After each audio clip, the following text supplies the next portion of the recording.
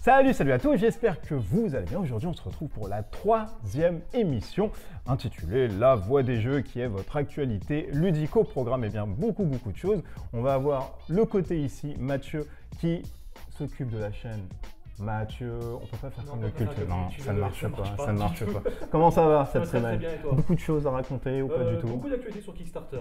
Des petits jeux, mais euh, pas mal de choses. Mais des trucs assez croustillants exactement. Et le culte du n'est pas là ce soir, puisque du coup il avait autre chose à faire, mais on le salue quand même. Il est remplacé par l'invité. Si vous connaissez un peu eh bien, Mythic Games avec Johan of Arc, Ragebuster ou bien encore Solomon Kane. Solomon Ken, tout à fait. Je te l'ai laissé quand même le mot de la fin, tu Ouais. vois, le- parce que je n'arrivais pas aussi à le dire. Dans le bon ordre, ça aurait été vrai. Solomon Kane et vrai. Ragebuster. C'est vrai. Mais tu sais que je maîtrise oui, l'espace-temps oui. Il s'agit de Léo. Merci infiniment, demi-dieu euh, maintenant de la figurine, ainsi que euh, Au moins. Voilà, c'est ça. L'Hercule euh, des, des temps modernes, au physique d'Apollon et de Circé et compagnie. J'avais du mal à rentrer dans le cadre. Tout hein. à fait, tout à fait. D'ailleurs, je suis venu avec beaucoup de retard aussi, on t'en remercie d'ailleurs. Comment ça va? Mais ça va, Très comme bien. tu dis, euh, un peu de retard parce que moi je tape CNJ et on m'emmène à, à Neuilly, tu Tout vois. à fait, tout Voilà. à fait, tout à fait. Mais c'est pas J'ai pas regardé la ville, tu sais, dès que c'est en dehors de Paris, moi je suis perdu. hein. Ah, mais c'est pas grave, on te fera la prochaine fois une petite map monde.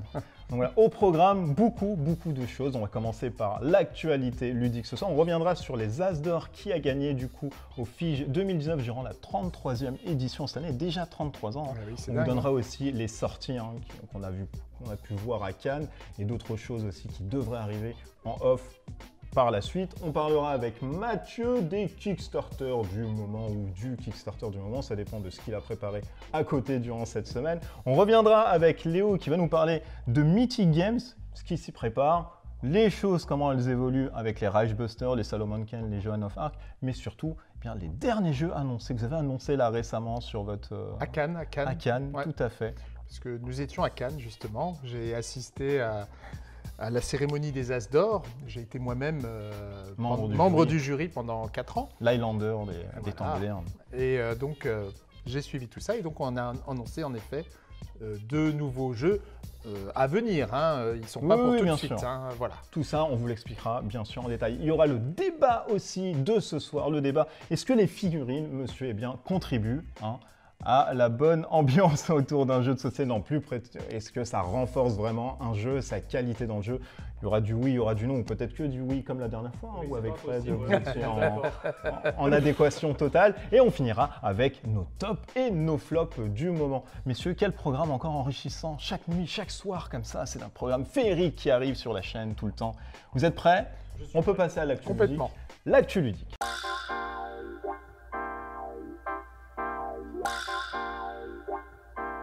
L'actualité du soir, nous allons revenir sur la 33e édition de Cannes et plus précisément, messieurs et messieurs aussi, puisqu'il n'y a pas encore de madame, et bien sur les trois As d'or de cette année. On commence par la petite gamme ici, enfantine, Monsieur Wolf, avec ici grand public, The Mind, et avec la gamme expert, tout ce qui est un peu velu, détective. Alors ce qui frappe, hein, messieurs autour de la table, c'est que c'est trois jeux coopératifs. Il n'y en a aucun où c'est de l'affrontement, où c'est quelque chose. Trois jeux coopératifs, exactement. C'est vrai que c'est. C'est surprenant. Ben, ça montre euh, une tendance euh, du marché. hein. Ça veut dire que ce sont des jeux qui sont euh, euh, particulièrement appréciés des gens. Et c'est pas un hasard, à mon avis, si il y en a trois qui ont été primés cette année. C'est-à-dire que maintenant, pourtant, on préfère plus l'aspect coop que de l'affrontement. Je pense que, en fait, les gens, c'est ça, ils n'aiment pas, ils aiment jouer en famille, et certains, de plus en plus, ap- apprécient pas le côté compétitif, même s'il y en a, hein, il reste un public, mais en famille, euh, euh, on n'aime pas se prendre une rouste, euh, soit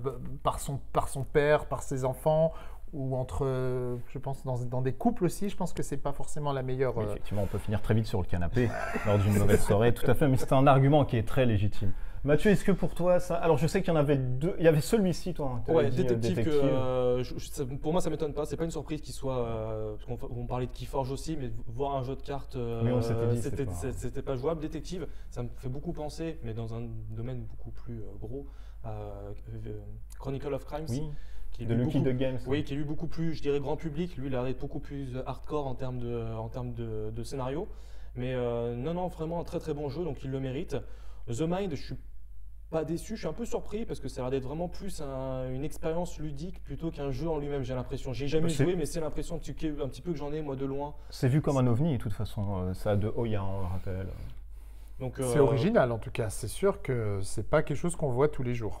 C'est euh, ça. Donc après, euh, pas une mauvaise chose. Puis après, pour Monsieur Wolf, je peux difficilement en parler parce que j'y ai pas joué, mais euh, c'est bien. Je rejoins un petit peu ce que disait Léo, mais c'est vrai que les jeux coopératifs aujourd'hui en famille, maintenant il y a de plus en plus de monde qui joue.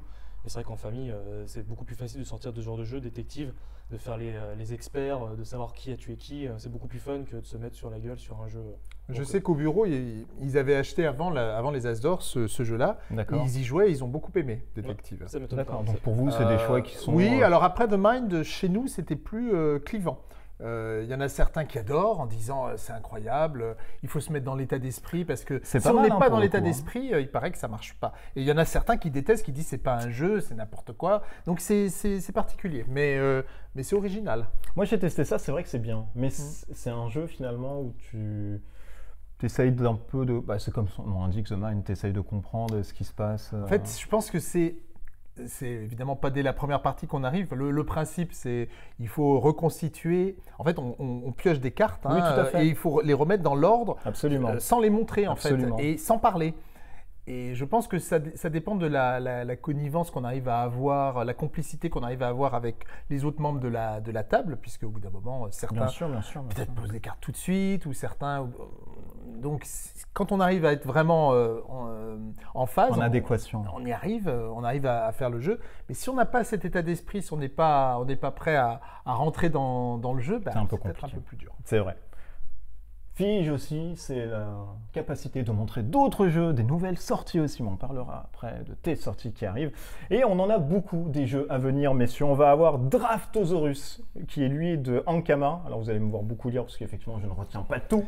Et je n'ai pas de prompteur, encore une fois, je suis très pauvre. Et c'est un jeu de draft, en fait, de placement. Ça a l'air vraiment pas mal. Donc ça, ça je sais même pas si c'est encore sorti, c'est de 2 à 5 joueurs et ça dure 15 minutes.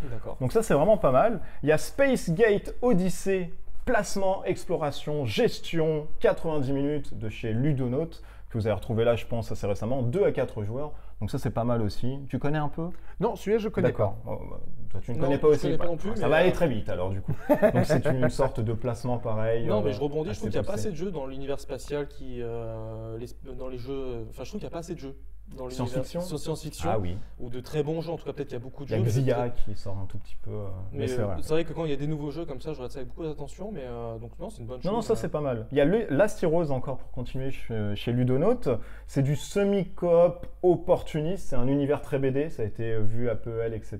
Et là, ils sont revenus avec dessus. Et c'est sorti hein, d'ailleurs. Il y a Greenville de Sorry We Are French. Vous connaissez un peu?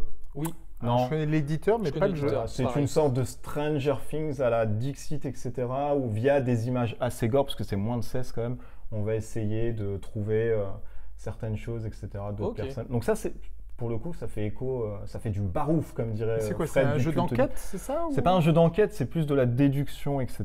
Dans un univers assez euh, 80, 90, euh, très Assez très très mature. ouais. Things. Bad Bones, qui est édité chez Sit Down, c'est du Tower Defense. Et ça, ça fait plaisir. On n'a pas beaucoup de Tower Defense. 1 à 6 joueurs, 30 minutes. Fugitive, c'est un, un jeu de bluff qui va être chez euh, Pixie Games. Sorte de bluff, deux joueurs, où tu vas jouer un fugitif, l'autre va jouer le Marshal et va essayer de t'arrêter, etc. Donc ça, pourquoi pas, c'est des trucs qui sortent très bien. ça. Danny aussi de Grrr Games, euh, qui est de 3 à 8 joueurs, un jeu d'identité d'enquête, où là on est dans un esprit assez schizophrène de ce que j'ai compris, où il y a 3-4 personnalités et on essaye de trouver un peu euh, euh, des mots-clés qui permettent de, de sortir du truc. Donc ça c'est assez, assez, assez bien foutu aussi.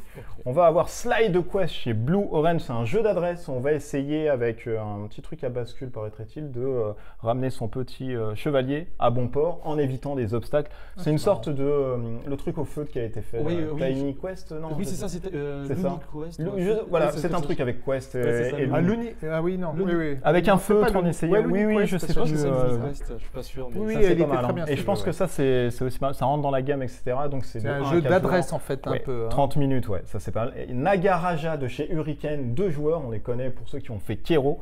Si vous connaissez un tout petit peu. Et là, c'est des bâtonnets. On joue des bâtonnets en guise de dés. Donc ça, c'est plutôt pas mal. C'est une sorte de course au trésor. Wingspan, qui fait aussi beaucoup parler de lui en ce moment. Avec ses- Wingspan.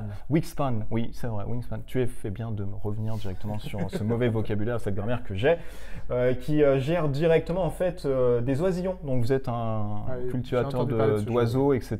Et on essaye. Alors c'est très très beau. Pourquoi? Parce que ça fait un buzz apparemment sur Instagram. C'est hyper bien fleuri, c'est Ah oui, hyper bien. Ça marche très bien. Enfin, il- Et ça sur marche BGG aussi, très bien, il, est, il est bien noté. Ça marche très très très très bien. C'est c'est vu comme grosso modo le killer de Terraforming Mars. Apparemment, maintenant c'est vu comme étant celui-ci. Tining Epic Zombie, dont Ah, tu es oui. très friand, qui sort euh, chez Je connais. Pixie Games, 1 à 5 joueurs, 30 minutes. Black Rose, ça c'est pour Duquesne, qui devrait arriver. Un jeu de mage, de création, de grimoire, etc. Euh, très très gros et avec de très belles figurines, avec euh, des bons plateaux, etc. C'est du velu, c'est du 1 à 4 joueurs. On a ici des, jeux, des trucs en off qui sont faits, euh, mais qui devraient aussi arriver, notamment un autre Kickstarter, Planet of the Apes. Ça, je connais, oui. Ça tu connais Oui, Ah, je Tout ce connais qui est les- les singe, tu connais, c'est bien. Oui, toi, tu y as joué, je crois. J'y ai joué, euh, j'ai joué, je connais le- l'éditeur et euh, voilà, on a pas mal discuté, donc oui, ça, là, je, je connais. Ça, c'est plutôt pas mal, donc ça sort aussi euh, bientôt. Ibris Aurora Games de 1 à 4 jours, ça reste encore dans du proto. 120 minutes, mythologie, steampunk, placement d'ouvriers.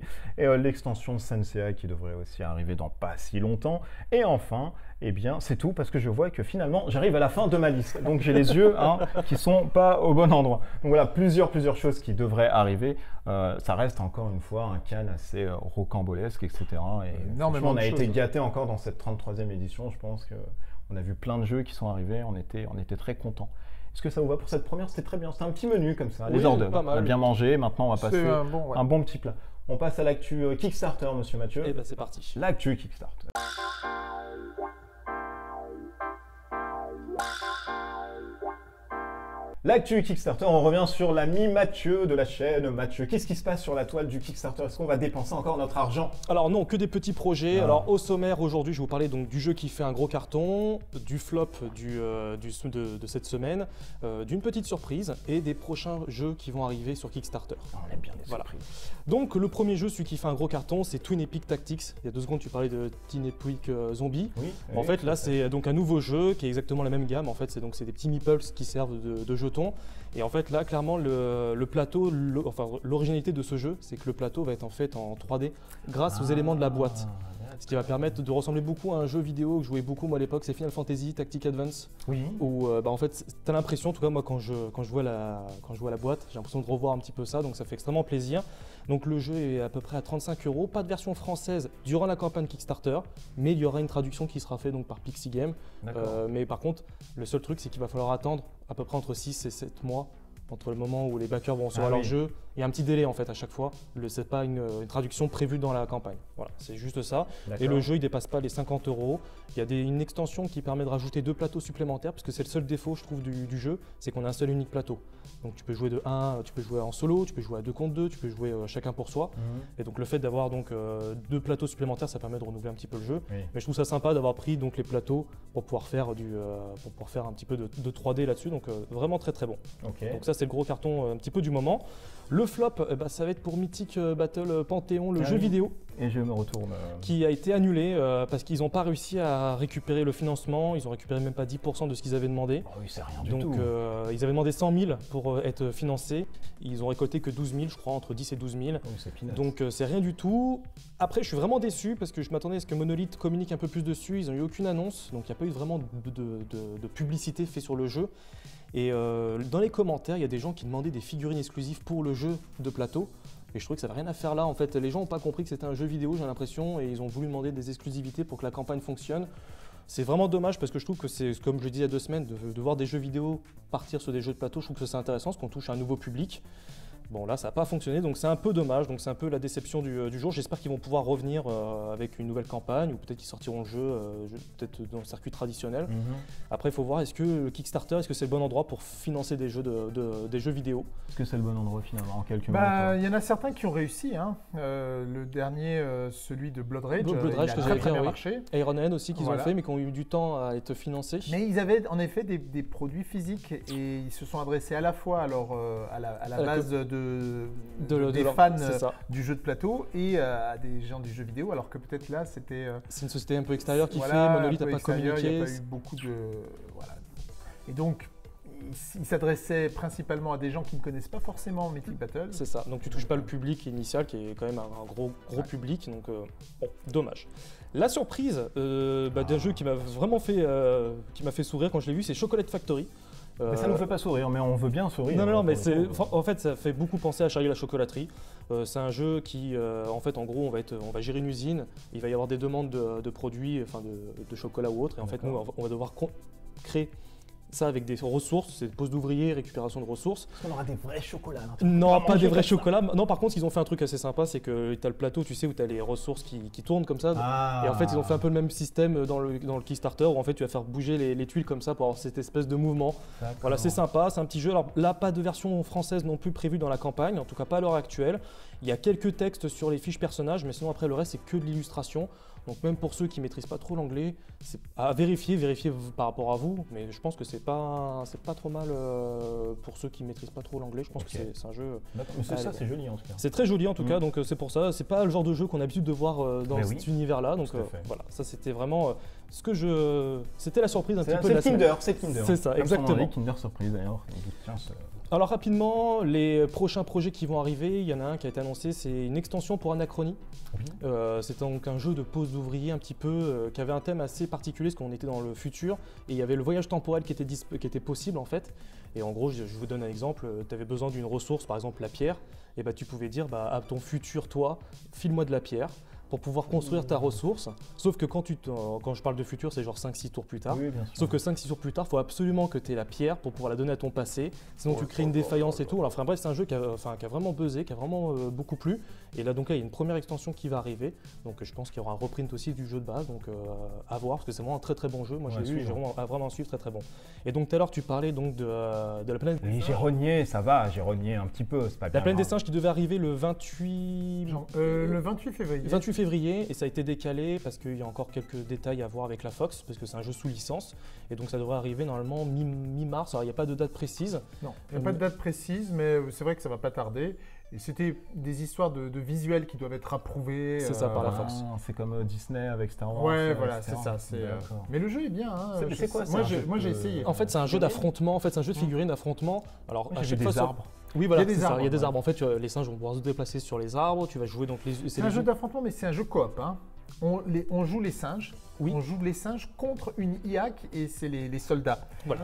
Voilà. Et euh, les, les singes, en fait, ils, ils attaquent. Donc, ils peuvent grimper dans les arbres, ce qui leur donne des avantages. Les humains ne montent pas dans les arbres. Ah oui. Et, euh, et la particularité, c'est que quand on, quand on attaque des humains, on ne sait pas en fait de quoi ils sont constitués. Si certains, euh, on va découvrir leur armement, leur rôle au fur et à mesure par l'IA. Et donc il y a des tas de missions euh, différentes, il y a des tas de singes différents avec des capacités différentes. Le jeu est très sympa. Et qui fait ça? C'est pas les personnes qui ont fait euh, Z First Impact euh, Si. entendu? C'est eux, hein, d'accord. Ah, ok, d'accord. Et donc là, c'est basé sur la dernière licence, donc la dernière trilogie qui est sortie. D'accord. Et je crois de mémoire qu'ils ont prévu aussi une, euh, durant la campagne euh, pour les. euh, Ils vont, pr- ils vont proposer aussi euh, une version avec la, la- la version classique, la de, version la planète, classique, voilà, c'est de ça. la planète des singes. Et donc là, on jouera les humains et l'IA, elle, elle jouera les, singes. Voilà, c'est ça. Mais tu m'as l'air bien informé. Ça sort oui. chez Mythy Games, il me Non, semble. Non, non, donc- non, mais Donc c'est un jeu à suivre, je pense que ça peut être vraiment très, euh, très Non, c'est Le sympa, jeu, en tout cas, le jeu, la, la mécanique de jeu est vraiment très bien. Vraiment, euh, moi j'ai joué, c'est très sympa, on passe un bon moment. C'est c'est prenant du début à la fin, on s'ennuie pas. euh, c'est Non, bah, c'est top, sympa. ça a l'air d'être top en tout cas. Voilà, ça se voit. Donc voilà, donc à suivre, donc ça va arriver dans les prochaines semaines et je vous en reparlerai, je pense, dans la prochaine chronique. Oui, c'est ça. Ou Léo reviendra vous en parler.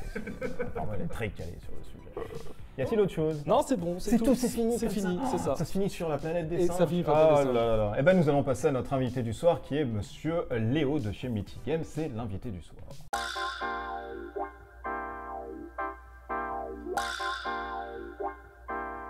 L'invité du soir, c'est Léo de chez Mythic Games qui vient nous parler des infos cruciales de ce qui se passe aujourd'hui, mais dans une autre aussi rubrique de ce qui se passera demain. Léo, qu'est-ce qui se passe aujourd'hui chez vous? Alors chez nous, l'actualité du moment, c'est Rage Busters. Ah, Project Vril. Rage Busters, c'est un Kickstarter qu'on a lancé en fin d'année. Euh, tu étais déjà venu Oui, j'étais- euh, je voir viens un partout. petit peu. Oui, Eh je viens oui. tout le temps. Et euh, le thème, c'est euh, Seconde Guerre mondiale, la fin de la Seconde Guerre mondiale. Les nazis sont sur le point de, de- de perdre la guerre, mais ils ont fait une découverte qui pourrait tout changer. Cette découverte, c'est une énergie qu'on appelle le, le- qu'ils ont appelé le vril, euh, mais qui est miraculeuse, euh, mais qui est très instable, très difficile à contrôler. Donc, ils mènent des expériences au sein de leur château pour essayer de, euh, la maîtriser. Donc, ça donne toutes sortes d'expériences euh, de mutants ou de, de, de mechas euh, animés. Des Euh, abominations. et s'ils arrivent à maîtriser ça, alors là, C'est le roi du monde. voilà, ils gagneront la guerre et c'est fini. on vivra dans un monde de nazis. Oh.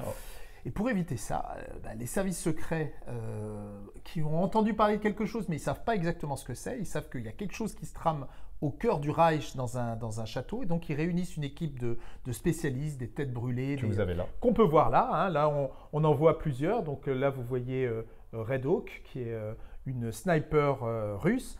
Vous avez Bjorn, qui est un, ancien viking. Là, vous avez Sally, qui est un personnage qu'on propose actuellement en vente, qui est un personnage exclusif.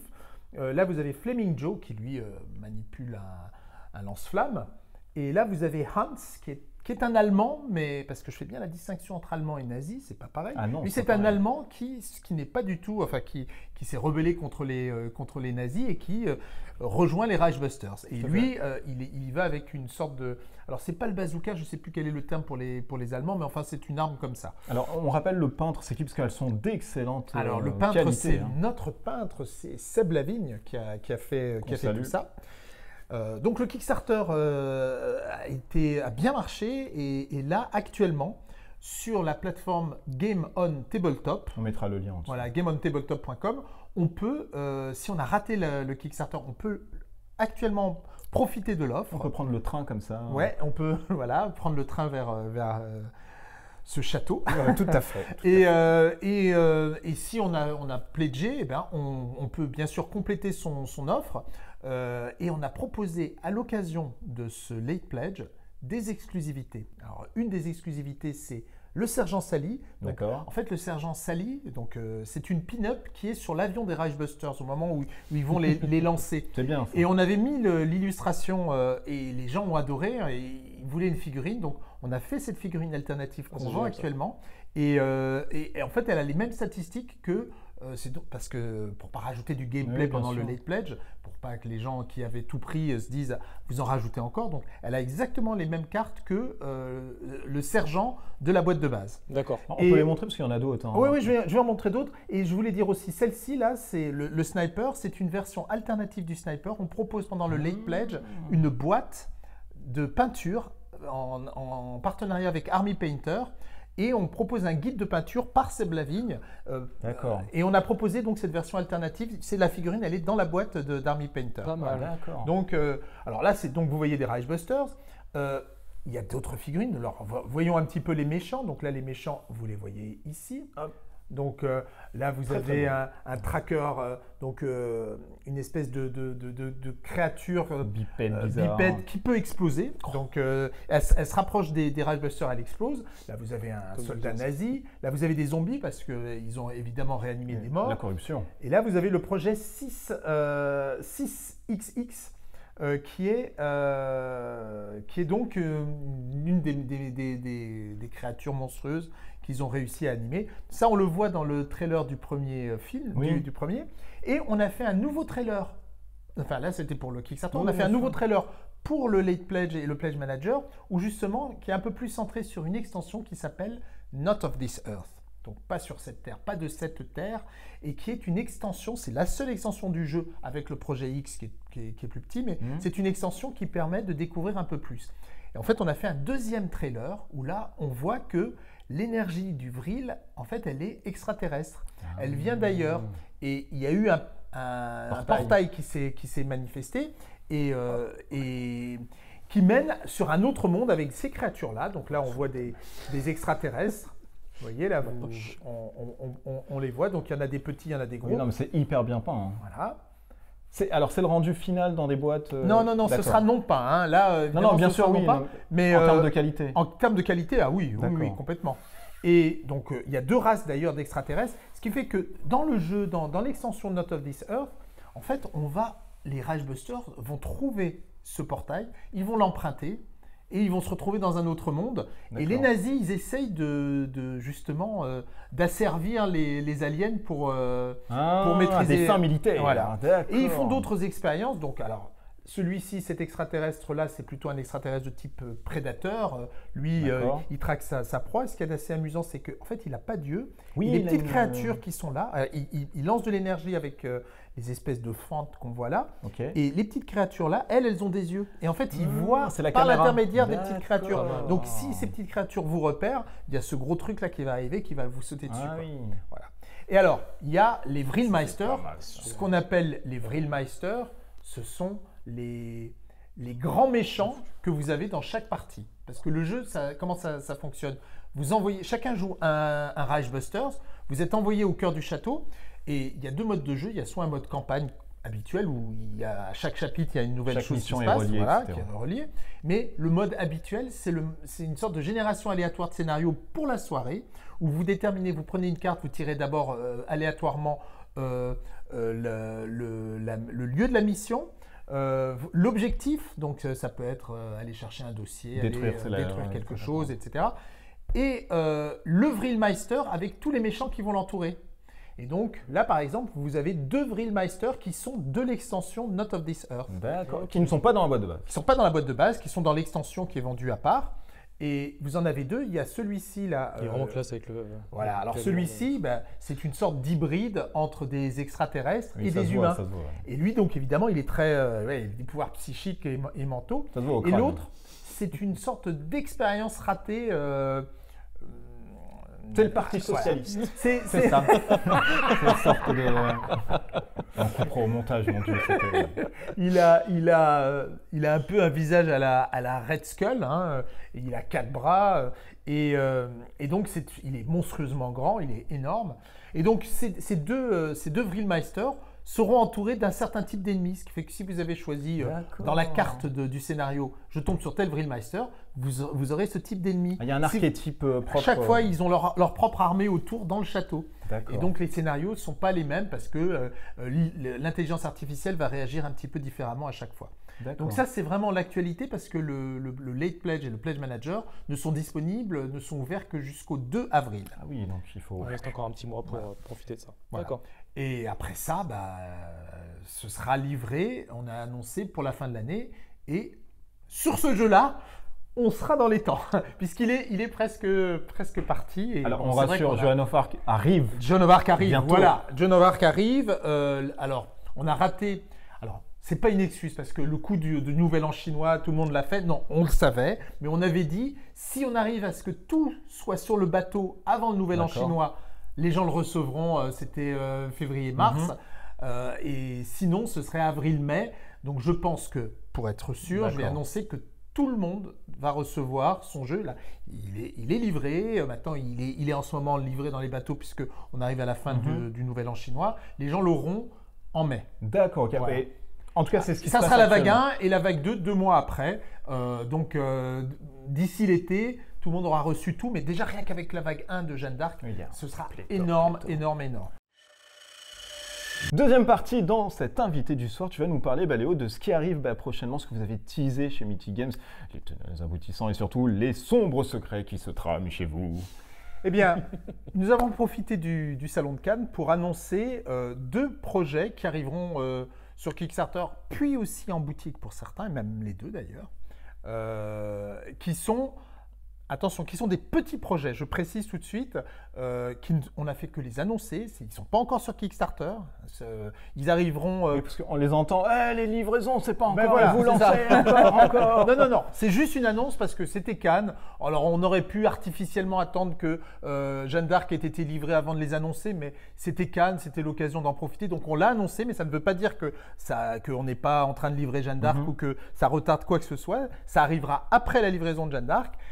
Il y a deux projets. Le premier projet, c'est Super Fantasy Brawl. Oui, et je suis obligé d'attacher Ah bah Mathieu oui, parce qu'il je veut crois partir que avec là, la figure. voilà. Il Alors, je peux te partir. montrer euh, Oui, quelques... on vous montre les visuels. hop. Voilà. C'est un jeu de type. C'est un jeu de type euh, affrontement euh, compétitif, jeu organisé avec des figurines et des cartes, pas de dés. Euh, on draft des personnages, on les fait s'affronter dans une arène. C'est des personnages d'Heroic Fantasy. dans- Qu'on a avec là un à la style caméra. Que vous voyez à la caméra. Donc vous voyez le nain, vous voyez le, le- le tigre euh, chinois, enfin de type asiatique en tout cas. Euh, ce- on aura donc, alors je monte ma main pour qu'on voit que ce sont quand même des grosses figurines. Oui, Euh, elles seront sur une arène. Euh, c'est vraiment le premier jeu de ce type qu'on publie euh, chez Mythic Games. Il est vraiment conçu directement pour le jeu organisé. C'est-à-dire qu'on va faire des, des tournois dans les, et, du jeu organisé dans les salons, dans, euh, dans les boutiques. C'est très très Euh, beau. on, on fera pas encore, pas encore. encore. ça. Ah, non, je- non, tu Ah non non, ça c'est autre chose. effectivement, Ne mélangeons pas tout. Tout à Ne fait. mélangeons pas tout. C'est très très beau. C'est vraiment très très beau. Ce sont des, ce sont des, ce sont donc des, des champions. On joue des champions. Chaque joueur va en drafter trois, D'accord. d'accord. Et il y a des combos possibles avec les cartes de, de ces, de ces personnages. Ça se joue sur une arène avec des hexagones, avec des cartes. Il y a voilà. Et c'est, très rapide, très fun, c'est très coloré, ce sont des figurines imposantes. Euh, ce qu'on fera quand il arrivera en boutique, donc là on va le sortir sans doute après la vague 1 de, de- Jeanne d'Arc, la Mhm. sortie de la vague 1, on fera un Kickstarter. Il sera livré certainement plus tôt. Je ne donne pas encore de date parce que Ouais, je ne sais pas. Mais, euh, ne, ne donne surtout pas de Voilà, date. je ne donne pas de date. Mais on, en, on- on en donnera et on fera attention. Comme les, les deux projets que je viens de citer, c'est moins qu'une extension de Jeanne d'Arc ou de Solomon Kane. hein. D'accord. Donc c'est vraiment des petits trucs, je le précise encore une fois. Euh, et, et ensuite, quand il sortira en boutique, ce jeu, euh, on sortira d'abord la- une boîte de base et tous les mois, il y aura un nouveau champion avec ses nouvelles cartes. Et tous les trois mois, il y aura une mini extension un petit peu thématique avec trois personnages. Et, et donc, euh, ça, ça- ça permettra d'enrichir le format de jeu de tout ce qui est. C'est euh, du JCE avec des figurines. un petit modo. peu, c'est ça, ouais. C'est ça, euh, avec un format qui changera, qui évoluera, mais oui, c'est ça. Donc la campagne, c'est juste pour lancer le jeu de base et après le- le- la suite se fera en boutique. Exactement. Ok. C'est exactement ça. Voilà. Alors vous voyez l'univers. Alors l'univers, c'est un univers magique. euh, Oui, ça où, ressemble euh, un peu à. oui. Comment il s'appelle euh, le jeu de Blizzard? Ah, Hearthstone? Oui, un peu. C'est un peu le. Il y a un peu de ça dans le, dans le, dans le type, oui. Euh, on, a, on allé chercher des, chaque fois des artistes euh, qui nous avaient tapé dans l'œil, quoi. Et en général, les gens suivent. hein. on a toujours euh, des réponses positives. Ouais, c'est très très beau. Voilà. Le, le- la particularité de l'univers, c'est que c'est un univers où il y avait une, des guerres éternelles, ça ne, ça ne s'arrêtait jamais, jusqu'à l'arrivée des magiciens, des, des super magiciens qui ont tout réglé. Ils ont dit euh, si vous, avez faim, ah, voilà à manger. Vous voulez vous battez pourquoi Vous voulez un nouveau territoire? Voilà un continent pour vous. Oui, fait que tout s'est arrêté et les gens se sont ennuyés. Et donc pour les distraire, ils ont créé le Super Fantasy Brawl. Et là, ça- ça permet de répondre à des questions. Euh, Ils font revenir les plus grands champions euh, de leur époque. D'accord. Et on ne joue que ces champions-là, et ça permet de voir qui va être le meilleur. Ok. Voilà. Petite question par rapport à la campagne Kickstarter. Il n'y aura pas d'exclusivité de figurines? Non, Non, non, parce que il n'y aura pas d'exclusivité. Ah non, non, non. le- Il n'y aura aucune figurine euh, réservée uniquement au au... Kickstarter. Par contre, ceux qui participeront au Kickstarter auront des, un, un intérêt financier, c'est-à-dire que ça reviendra moins cher. Comme toujours. Ah On oui. proposera peut-être aussi des skins différents, Ouais. mais avec les mêmes caractéristiques. Voilà, juste Non, des, des qu'il trucs y a un dans ce tournoi- genre. enfin, s'il y a des tournois qui sont Voilà. derrière, il ne faut pas qu'il y ait un Non, non, non, qui soit fait. absolument. ça mais ça, on y pense mais bien. ne l'enrage pas trop parce Mais qu'il il a commencer à C'est- sauter partout. C'est un jeu prévu pour euh, de- du, voilà, du compétitif, du jeu organisé. Donc, on fait très attention à ça et il n'y aura pas d'exclusivité réservée aux gens euh, qui l'auront pris sur Kickstarter. Ça marche. Non, c'est une question, je pense qu'il y en a certains qui se la posaient. Donc. Ah, mais absolument, c'est tout à fait euh, légitime. On a tout dit sur ce jeu qui On a tout dit, bientôt. tout oui, On a suffisamment, oui, l'essentiel voilà, on a pour voir, un petit peu. Voilà, ça arrivera euh, peu après la, la vague 1 de, de Jeanne d'Arc. Les derniers jeux que tu as teasé aussi, euh, dans un domaine plus mature quand même. hein, Ah oui, oui, la barbe, beaucoup, du sang. beaucoup plus sombre. Encore une fois, tous nos jeux, chaque fois qu'on fait un nouveau jeu, l'objectif c'est d'aller dans une euh, voie totalement différente pour que les gens qui nous suivent, euh, ils puissent finalement euh, se dire, euh, selon leur, euh, leur temps, leur humeur, euh, avec qui ils se retrouvent, euh, ils disent bah, je vais plutôt ce jeu-là, je veux un truc plutôt léger, je veux un truc plutôt en famille, j'ai pas beaucoup de temps, donc je prends un jeu qui est court, ou alors j'ai toute une soirée, je prends un jeu qui est long. Donc à chaque fois, on explore des univers et des types de jeux différents. Et celui-là, c'est encore un jeu qu'on n'avait pas abordé. C'est, on est dans un vrai jeu de plateau, mais du, vraiment du pur jeu de plateau, avec du placement d'ouvriers, avec de la survie, euh, avec euh, euh, des objectifs secrets, avec du combat. Euh, sauf qu'on a mis un, un univers très fort, et beaucoup de background et beaucoup de mystère. Donc, on est en 999. Le jeu s'appelle Hell, H-E-L, un seul L, c'est un terme, c'est un nom scandinave. Hell, The Last Saga. D'accord. Est-ce on qu'on est- peut montrer ça? Bien sûr, tu peux montrer le, le petit teasing. Hop. Voilà, c'est ça, c'est le héros. Et du coup, alors ça se passe dans une ère glaciale, il fait froid. Qu'est-ce qu'on doit faire on est en 999 de notre ère. L'évangélisation des Vikings euh, touche à sa fin. Certains ont embrassé la religion chrétienne, mais d'autres ne sont pas du tout euh, d'accord avec ça et, et ils, veulent, ils veulent garder leur culture. Et donc, ça crée des tensions euh, au- dans, dans les peuples scandinaves. Et c'est aussi à cette époque qu'ils ont découvert une terre qu'ils espèrent être euh, la terre sacrée, la terre promise. Euh, c'est une terre euh, où on dit qu'il y a, dans, leur, culture, où il y, a, des récoltes, des richesses incroyables, et même où les dieux marchent le long des fidèles, de ceux qui le méritent, en fait, des valeureux.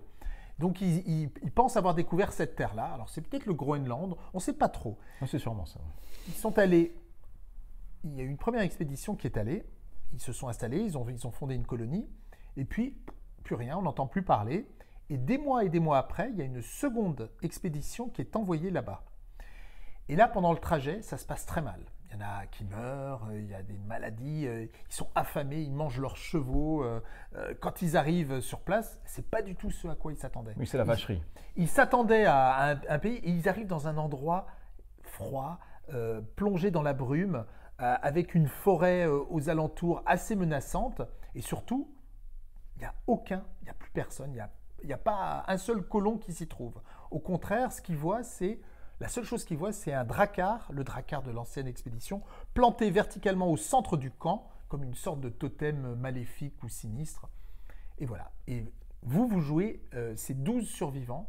Donc, on répartit le nombre de personnages, donc on vient de les voir un petit peu, selon le nombre de joueurs. C'est de combien combien? Ça se joue de 2 à 4, mais on va certainement, alors ça c'est la première fois que j'en parle, on va certainement faire une version euh, solo aussi, qui sera purement survie, alors que là c'est du semi-coopératif. C'est-à-dire que Il y a, les gens... un gagnant. Ouais. C'est-à-dire qu'il y a un gagnant qui va marquer, essayer de marquer son histoire, sa saga, puisque c'est important pour les Vikings, le, le- on va dire le- la gloire, renommée. hein, la renommée. Euh, donc, c'est coopératif quand même, parce qu'au départ, quand on arrive sur cet endroit, il faut survivre. Premier truc, c'est survivre. Donc, il faut euh, euh, chasser, pêcher, euh, aller chercher des ressources, euh, faire du feu, essayer de retaper le, le, le- le- le dracar, parce que même votre propre dracar est abîmé. il y a plein de choses à faire. Il faut donc, on a, on a une map avec, il faut donc se positionner aux endroits, aller, aller crafter. il y a tout, tout cet aspect-là. Et puis chaque personnage, en fait, puisqu'on en joue plusieurs, chaque personnage a ses motivations et ses sombres secrets. Euh, et donc, on peut marquer aussi des points en faisant ça. Mais c'est pas forcément. euh, euh, D'accord, oui, il y a plein de stratégies. et oui, c'est pas forcément compatible avec euh, les motivations ou même la, le- la coopération de, de tout le monde. Là, Je sais pas si vous connaissez un peu le jeu Dead of Winter. Si, Bah oui, voilà, il y a, y un côté chose. un petit peu. Enfin, c'est pas Ouais, la même ouais, chose. C'est le même esprit C'est le même esprit. On retrouve un petit peu. euh, Alors là, on voit des Là, personnages. on- voilà, c'est ce que j'allais dire. On voit des persos, c'est ça? Ce C'est un, voit- un jeu de filles, encore une fois. Avec, Alors- des, figures, avec des figures. Alors, il y aura des figurines pour les, les survivants, 12 figurines, mais après, sinon, ce seront des tokens. Et on proposera en option, si on veut remplacer certains tokens par des figurines, notamment pour les. Parce que le, le mal ou les, les choses bizarres qu'il peut y avoir, je vais, Mhm. je vais laisser planer un peu de mystère. Euh, ce sera possible. Donc, c'est pas du tout non plus euh, euh, l'optique qu'on a fait jusqu'à présent. C'est un petit jeu euh, plus restreint, pas très cher, avec, pour ceux qui veulent une version plus luxe, la possibilité de le faire. Mais C'est pas plus mal de Voilà. proposer ça. Et de plus en plus, ils le, enfin, euh, les éditeurs le proposent. Et je trouve que c'est une bonne chose pour les gens qui n'ont pas forcément le budget pour acheter des jeux avec beaucoup de figurines. c'est ça. profiter. Et, et là, ils peuvent profiter du même jeu avec euh, peut-être moins de moyens, mais euh, en tout cas le même jeu. Et, Exactement. euh, je trouve que c'est vraiment C'est tout ce qu'on veut. C'est exactement ce qu'on va faire. Donc là, ce qu'on voit, on voit le Jarl, on voit euh, un- une sorte de, de berserk, manchot d'ailleurs, et là, on voit une chasseuse. C'est une, une grosse arme. Il a une grosse arme, mais il est, il est balèze. hein. Il fait 2m40, hein, Ah oui. donc il est Ah grand. oui. hein.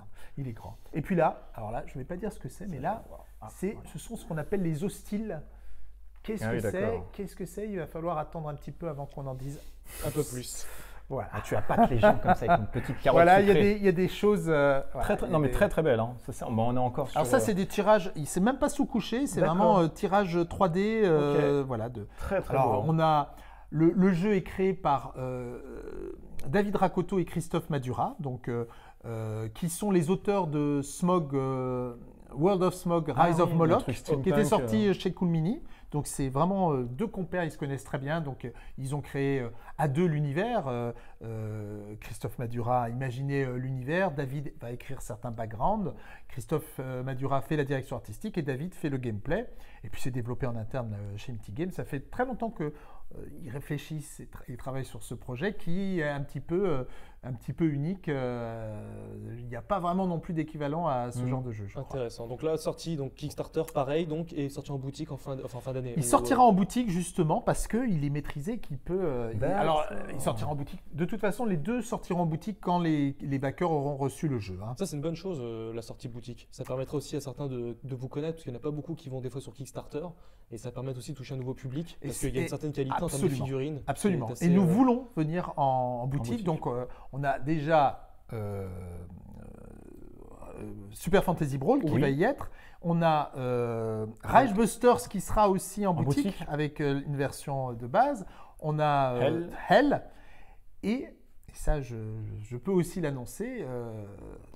Il y aura aussi certainement euh, John of Arc avec une version spéciale boutique euh, qui plus, sortira. euh, Donc oui, on va, en- on va en boutique avec des produits vraiment conçus et adaptés pour la boutique. D'accord. Euh, et donc, euh, c'est, ça nous permettra de, de- de toucher différents publics comme. Ouais, c'est une comme très tu bonne chose. C'est une très très bonne chose. Est-ce qu'on a tout dit sur les infos je pense qu'on a dit à peu près tout. euh, je crois, il me semble.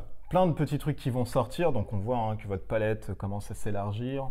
Les boutiques d'un côté, etc. Vous partez un peu plus. Et euh, puis sur on des montre horizons. tout ça aussi sur les salons. On est, on est présent sur pas mal de Oui, salons. il y a eu euh, beaucoup, donc, beaucoup de retours ah en oui. tout cas euh, là-dessus. Eh bien, je vous propose de passer directement au débat, messieurs. De toute façon, vous n'avez pas le choix, c'est le débat.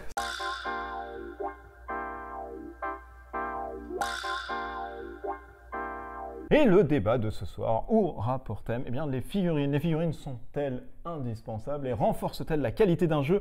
Voilà la question que je vous pose ce soir. Vous avez 5 secondes et vite, il faut écrire. Allez, 1, 2, 3, 4, 5, c'est fini. Voilà, je relève les pinceaux et même les stylos, on pose tout. Monsieur Mathieu, c'est un grand oui avec plein de Ouais. traits. Et monsieur, oui, bon, toi, on sait que c'est oui.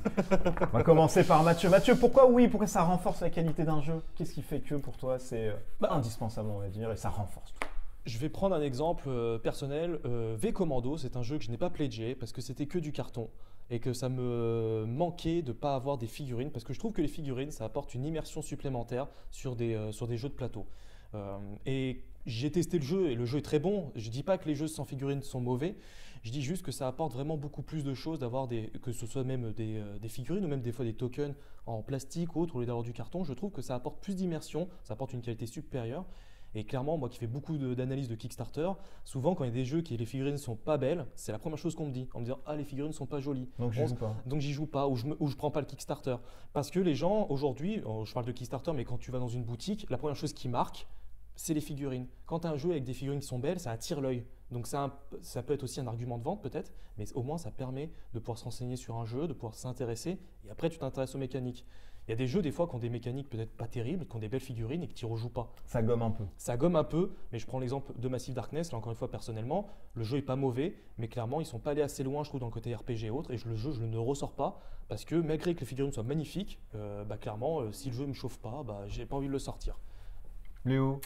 Ben, je suis assez oui d'accord avec Mathieu. En fait, euh, pour moi, ça, ça renforce, puisqu'on parle de renforcer. On renforce la qualité, c'est-à-dire de base la la qualité. est bonne, là ça ça renforce. ne fait pas un jeu. hein. Euh, Des belles figurines ne font pas un jeu. Si, il faut qu'il y ait quand même une belle mécanique. Mais à partir du moment où la mécanique est là, le, le côté figurine fait que euh, ça a plein d'avantages des figurines. Le fait qu'il y ait des figurines, déjà on les repère plus facilement. Euh, si vous regardez Rising Sun, qui, euh, qui, qui est un jeu Oui, oui, abstrait, vrai, quand on joue avec des figurines, c'est pas pareil que lorsqu'on joue euh, avec des, euh, Avec des cartons, ouais, je confirme. Des, silhouettes. hein.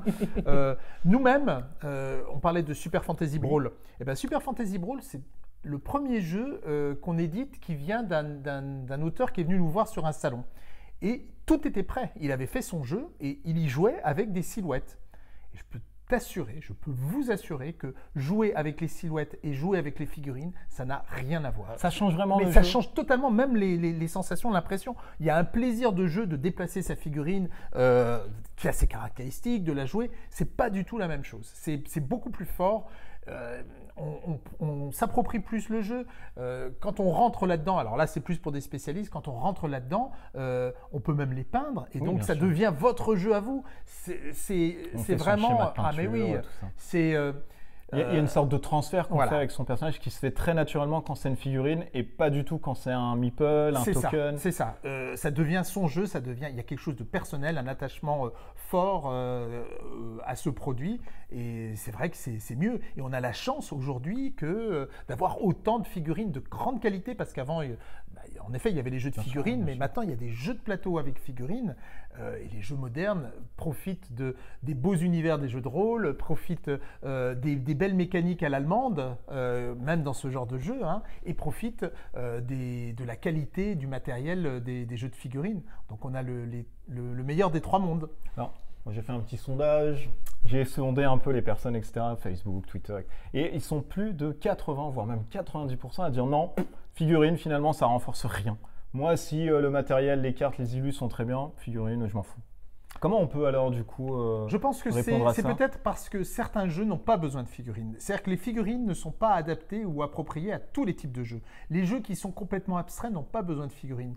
Mettre des figurines dans Call of Catan, ça n'a- ça n'apporte rien. Euh, Oui, il faut que, faut que les figurines aient une utilité. Voilà. Tout à l'heure, on parlait de kilo plastique, mais c'est exactement ça. Plein de figurines qui servent à rien, que tu n'utilises pas, que tu ne joues pas avec. Je pense que ça, ça nuit même limite au plaisir de jouer. Alors que si tu fais des figurines, mais qui servent vraiment au gameplay, qui servent au gameplay, je pense qu'honnêtement, ça, ça la, la position sur le plateau compte. euh, C'est ça. euh, qui sont vraiment des, des- des- des personnages importants, hein, donc qui ont peut-être des points de vie, qui ont peut-être.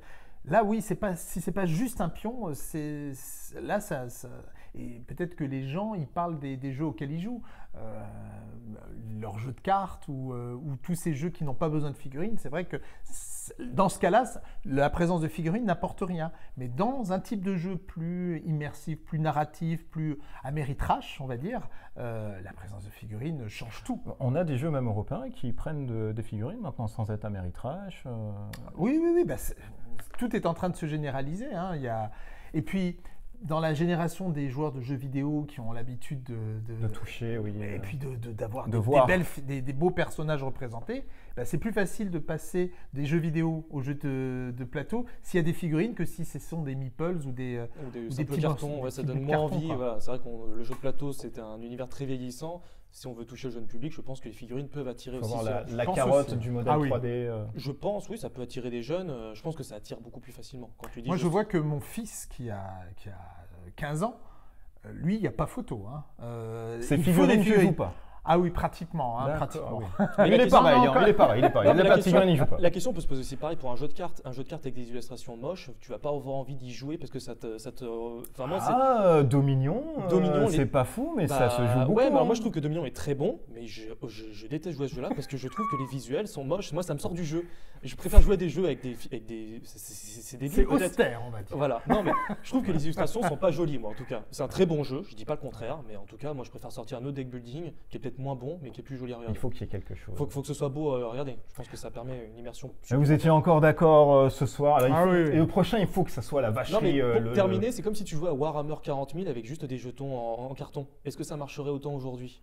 Ah, bah, Non mais Ça, vo- c'est- voilà, mais après c'est- c'est c'est c'est type pas, des c'est pas du jeu de plateau là, c'est un jeu de figurines, on est d'accord, mais je À place du Land Raider, tu prends la boîte à chaussures. Voilà, euh, c'est ça. voilà. Je pense qu'en termes d'immersion, c'est pas pareil. Donc là, euh, après, là, c'est c'est autre chose. Mais c'est vrai que pour terminer, euh, je fais référence à Fred qui n'est pas là. Oui, mais bah qui- oui. Mais on l'entend de loin. Voilà. On l'entend de loin qui dit non, que- non, il faut, il faut. euh, Mais euh, pourtant, les mécaniques, euh, souvent on crie sur Warhammer avec les règles qui sont pas forcément ah top. oui, c'est pas top. Mais euh, tout le monde y joue, même moi, parce que j'adore jouer, j'adore peindre mes figurines. Enfin, je les peins pas, c'est ma femme qui les peint, mais, mais c'est ça, je sous-traite. Mais les voir peints, euh, c'est, ça donne vie. Ah, oui. Et tu as vraiment l'impression de diriger ton armée. C'est du grand spectacle en fait. Oui, oui, Certaines parties de ces jeux-là, c'est vraiment presque, euh, voilà, c'est du grand spectacle. On a l'impression de voir une histoire se dérouler sous ses yeux. C'est ça. hein, Oui, et- mais non, mais c'est et, vrai. et ça, il n'y a que euh, des figurines qui peuvent apporter ce plaisir à ce point. Quoi. C'est- Bon bah écoutez, j'ai fait un peu l'avocat Ouais. du diable, c'était pas possible, mais voilà, sachez que le- l'ensemble des personnes ne pensent pas comme vous, C'est pas grave. et c'est- ce n'est vraiment pas grave. Ben, on va passer au top et au flop, messieurs. C'est parti. Dans la rire et la bonne humeur, le top et le flop.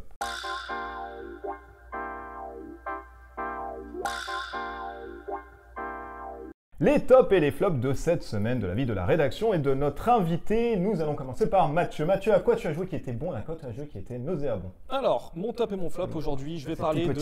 Ouais, comme d'habitude, j'écris petit. C'est écrit petit. Alors, mon top, c'est surtout la livraison de Clash of Rage. Voilà, un Kickstarter qui était arrivé, euh, au- qui avait commencé en mai 2017, euh, qui a eu un peu de retard euh, parce qu'il y a eu deux figurines qui, dans la production, sont passées à la trappe. oui. Donc ça leur a retardé un petit peu le jeu, mais donc je le mets dans mon top parce que de recevoir toujours euh, un Kickstarter, euh, c'est toujours un grand plaisir. J'ai pas encore eu le temps de l'ouvrir, je prépare un unboxing là pour ce week-end, mais en tout cas, voilà, ça fait extrêmement plaisir. En plus, c'est la boîte des jeux, c'est une société française qui le fait, qui l'édite en tout cas, donc ça fait extrêmement plaisir. Un 4 joueurs, c'est ça hein Un à 4 joueurs, il y a un petit mode solo. Alors le mode solo, je, je vais le tester, mais je suis pas sûr qu'il soit. Je pense qu'il soit juste là pour dire qu'il y a un mode solo. Ouais, je pense. D'accord. Mais clairement, voilà. En plus, les figurines, j'ai un peu ouvert, ça a l'air d'être assez beau. Oui, on montrera et Euh, tout. franchement, je suis assez content. Euh, En plus, la boîte est très très grosse. Donc, quand tu achètes en plus un jeu qui coûte à peine 90 euros, qui sera disponible en boutique, donc euh, ça fait plaisir de voir comme ça beaucoup de matos dedans. Bon. Ok, après c'est quoi? Septième continent Septième continent, j'adore en parler. C'est Oh. mon jeu vraiment préféré. Là, je suis en train de continuer la DS Vorace, mais j'adore ce jeu en termes d'immersion. Enfin, il n'y a pas photo. C'est vraiment un jeu auquel j'adore passer du temps. C'est euh, vraiment un ovni. Et j'ai hâte que les. euh, parce que là, il y a encore eu du retard aussi, parce que Ouais, c'est récent, ouais, ouais, c'est toujours pareil sur Kickstarter, voilà. Mais en tout cas, il y a du retard. La deuxième boîte euh, blanche qui va arriver donc au mois de juin. J'ai toujours pas commencé. euh, j'ai fait qu'une malédiction sur les quatre qui étaient Ah oui, c'est disponibles. hein. c'est très très long, mais Très, bon très, Dieu, quel plaisir d'y jouer. Franchement, j'adore. Ah oui, bon Dieu, carrément. Et le flop, Discover Terres Inconnues, bah tiens donc. eh ben, parce qu'en fait, c'est le jeu de FFG qui essaie de copier plus ou moins le 7 continent sur certaines Avec mécaniques. unique. avec la dimension unique. Clairement, je trouve que c'est vraiment pas, pas top. Euh, Il y a des mécaniques qui sont pas mal, les combats et autres, mais je trouve que l'aspect scénaristique est vraiment absent. Euh, le côté on joue en coop, mais pas trop, je vois pas trop l'intérêt. Ouais, il y a un scénario qu'on a fait nous, il y a un joueur qui a dû se suicider pour finir la mission. C'est vraiment suicidé. Oui, c'est vraiment. Il, se- il Ah se oui, donc il est mort. Oui, il est mort, le joueur est mort. non, mais j'ai trouvé que c'était euh, fade et les joueurs à qui je jouais dans mon association n'ont vraiment pas aimé. Ah, ouais. Et euh, vraiment très dommage. Et puis ce côté jeu unique, je trouve que pour Keyforge ça s'y prête bien. Pour un jeu de plateau, surtout 50 euros pour le matos qu'il y a dedans, cher, je trouve que c'est très cher. Donc clairement, je le déconseille fortement. D'accord. Eh bien, merci Mathieu. Tiens, reprends ta petite ardoise. Léo, bon, on va remontrer. Vous Ah, écrivez aussi, tout petit. ouais, mon Dieu. c'est- Qu'est-ce que c'est que Je ça savais Alors, pas que c'était un peu Désolé pour les personnes qui sont un peu myopes. Donc, on essaye de faire au mieux. Alors, c'est The Binding of Isaac. Mais tiens, c'était un jeu de vidéo qui est aussi. Oui, et ben Bah alors il y a, il y a deux, euh, voilà, il y a- il y, a deux jeux qui ont été, qui sont des Kickstarter qui ont été livrés, qu'on a reçus au bureau et que j'ai essayé. Donc Binding of Isaac. Moi, je connaissais le jeu vidéo parce que là encore, mon fils euh, est archi fan. Donc c'est un petit peu malsain dans, dans- dans ce truc-là. Et ils ont fait un jeu de cartes euh, qui est amusant et qui, rep- qui reprend bien, euh, Ouais, bien les thèmes. Donc au début, moi j'étais assez dubitatif quand j'avais vu le Kickstarter. C'est pas moi qui l'ai baqué d'ailleurs, c'est euh, une personne de l'équipe, hein, parce que je trouvais que les, les graphismes étaient horribles, quoi, les cartes. Mais en fait, non, finalement, ça reprend, ça reprend le, thème du jeu et en fait, euh, voilà, c'est amusant et ça m'a fait découvrir, donc j'ai bien aimé. Après, c'est Soldat du Feu. C'est un ancien jeu, ça, Alors, tiré de, des US. voilà, hein, parce que je joue aussi euh, avec mes enfants et de temps en temps on ressort des vieux jeux. Donc euh, Soldats du, du Feu, en effet, 18 Soldats du Feu, c'est un jeu qui a été, euh, c'est un jeu coopératif. Qui est tiré d'un d'un autre jeu qui Flashpoint, s'appelle Flashpoint. Flashpoint. Et j'avais pas rejoué parce que tu m'as dit que dans ces flops, dans ces top ou flops, on peut prendre même des Tu vieux trucs. prendre hein. même Donc, des, très des jeux du je- Moyen Âge. j'ai- Je l'ai ressorti là, ça faisait des années que je n'avais pas joué et puis et, j'ai relu les règles et tout ça, ça se joue bien, c'est fun, euh, Bah oui. euh, c'est entraînant, tout le monde, toute la famille que j'ai pu jouer avec ma mère, avec mes enfants et tout ça, tout le monde a aimé quoi, c'était Bah, c'était sympa. Si mis un jeu aussi à ça, Voilà. c'est que c'est un, un bon jeu. Tetris Link, ça je connais aussi. Pas Alors mal. ça aussi c'est un, alors ça, C'est marrant, ça ça. c'est marrant. Ce jeu-là, c'est un jeu de plateau euh, Ouais. C'est tout con, mais c'est beau et c'est euh, tu prends du plaisir à jouer euh, et tu le, et c'est un jeu que tu ressors. C'est vrai. Ce jeu-là, alors autant j'avais pas joué depuis des années à, t- à 18 Soldats du Feu, autant quand on n'a pas beaucoup de temps en famille euh, et qu'on veut jouer à un truc, on le sort toujours volontiers. Tu joues de 2 à 4. Et, euh, et c'est plaisant, il y a la manipulation de l'objet. Alors là, c'est pas des figurines, mais c'est des, des- du beau matériel. Et franchement, il est, il est passé presque inaperçu ce jeu. Oui, c'est vrai, Il vrai. est super bien. Et Horror à Arkham, le jeu de cartes, ainsi que Hate, Alors, voilà. ce- alors, Horreur à Arkham, euh, Arkham Horror, oui, Horreur à Arkham, Oui, euh, euh, le jeu de cartes. J'en avais beaucoup entendu parler. Je suis allé l'acheter. J'ai joué avec mon fils et franchement, C'est la claque. C'est super. pas mal, hein Ah ouais. Ouais. Je trouve que, euh, tu vois, tu me parlais de septième euh, continent. Oui. Et ben, je trouve que là, le système de jeu, il est encore plus fort. C'est-à-dire que vraiment, la, la mécanique de base, elle est hyper, hyper balèze et euh, tu passes d'une histoire à un autre. euh, très, très. Non, Alors, j'aime beaucoup aussi septième continent, hein, mais, euh, mais je, Ah, celui-ci. Ces deux jeux-là, c'est les jeux auxquels je joue le plus. Vraiment. Ouais. euh, C'est toi, tu as déjà parlé, ça oui, suffit. excusez-moi, Alors, bah, dis donc, carton jaune, et vous ne parlez plus pendant 5 minutes. Et enfin, Hate, Hate, ouais. Hate, on a reçu euh, le, le Kickstarter. Alors, j'ai pas joué, donc je ne peux pas dire euh, encore par rapport, mais je tenais quand même à, à décerner la palme de magnifiques, magnifiques figurines. Elles Figurine sont- monobloc, elles sont encore. Incroyable. Et, et les, les graphismes d'Adrian Smith, c'est vraiment Et le flop beau. qui forge. Alors, Ah, flop, c'est un peu dur. C'est un peu dur. Je dois dire que quand j'ai joué la première fois à Keyforge, je me suis bien amusé. Mais ça ne me donne pas envie d'acheter ni de rentrer dedans parce que je me dis, euh, déjà un jeu où les, les, les- les decks vont être déséquilibrés, où il y en a certains qui vont devoir avoir un système de handicap pour pouvoir jouer avec d'autres, je trouve ça un petit peu bizarre. Et autant l'idée est sé- séduisante parce qu'on se dit, euh, ah bah tiens, ils ont trouvé un truc, c'est... euh, autant sur le long terme, j'arrive pas à, à me dire que euh, voilà Ça que peut ça, peut tenir. Euh, donc c'est plus par rapport à ça que je le mets en flop. hein. C'est-à-dire que moi, j'ai pas adhéré. Je, je préfère le système classique des Ouais, jeux de cartes à collectionner. Moi, j'en ai je fais faire vite, comme d'habitude. Je n'ai D'accord. pas assez de temps pour jouer. C'est- terrible, c'est terrible, c'est terrible. Moi, ça reste euh, Horror Arkham, troisième édition, qui sont ressortis parce que c'est très bien, parce Ah. que c'est très grand. Et parce Le que jeu de plateau, hein, Le jeu de plateau, oui, tout à fait. J'ai pas essayé encore. Mais tu essayeras à la maison. Le jeu de plateau qui, euh, qui est très très bien et qui voilà, prend un temps euh, excessif. Deux à trois heures, c'est ça, ouais. 2 à 3 heures, tout à fait, si on est tout seul. Et puis, euh, les héros de Terrinos, que j'ai pu tester moi euh, cette euh, semaine aussi, Ah, et la semaine dernière, qui est très très, Très bon. Le nouveau de Fantasy Flight. C'est ça, le Warhammer Quest Lite, etc., qui sont plus à licence, du coup ils sont partis chez. Descent, et franchement c'est très très bien. hein. Mm. C'est très très bien, donc si vous cherchez un bon jeu de cartes qui joue hyper rapidement comme ça, et les campagnes sont pas liées pour du one-shot, donc c'est c'est vachement Ouais, assez sympa. chose, one shot. Voilà les tops et les flops, j'ai pas de flop parce que je fais ce que je veux en même temps, et que je n'en ai pas aussi parce que c'est vrai que j'ai pas... Dans deux semaines normalement ça devrait... Ça Ah. devrait venir. C'est terminé, ça va très vite. Ça Ça, va vite, hein. très très vite. Donc on remercie le club qui est la ludothèque de Boulogne-Billancourt, avec qui on est en partenariat, qui nous donne ce formidable studio où vous pouvez voir cette formidable chronique. Merci beaucoup Léo d'être passé Merci à et d'avoir vu cette lumière. Vous avez dit tiens, qu'est-ce qui se passe ici Voilà. Merci beaucoup Mathieu de la chaîne Mathieu. Tous les liens bien sûr de Alors, comment on fait Games. pour Mathieu c'est- Je, je sais pas pour Non, Mathieu. C'est quoi Parce euh, qu'il n'y a pas une façon de le dire Non, il n'y a Non, pas c'est le culte du dé. C'est le on- culte du dé qui a une façon. Mais il n'est pas là, il t'expliquera la Mathieu, prochaine on fois. peut pas le faire. Ma- Mathieu, non, ça ne marche pas. Mathieu, c'est Mathieu. Par contre, c'est Mathieu avec deux T. Sinon, c'est très important. voilà, c'est très easy. C'est- il, a, vu des mairies, etc. Plusieurs communes en disant c'est pas possible. C'est avec deux T. Merci beaucoup. À bientôt. Tu reviendras avec euh, des infos. Nous, on se reviendra sur la chaîne. Il y aura un dossier spécial Mythic Games. Donc, j'irai chez eux comme ça et voler plein de figurines en même temps. Et merci Mathieu pour, euh, bah, du coup, euh, Pour tout ma ce- présence. Voilà, pour ta présence. Voilà, déjà. Une présence est très grande au sein de cette émission. Je sais très bien que c'est un privilège et surtout un plaisir de t'avoir. Merci. Et euh, du coup, on se voit dans deux semaines. Exactement, avec dans Fred, deux bien sûr, qui prendra la place et peut-être un autre invité. D'ici là, portez-vous bien, jouez bien, à bientôt. Des bisous partout. Ciao, ciao. Bye-bye.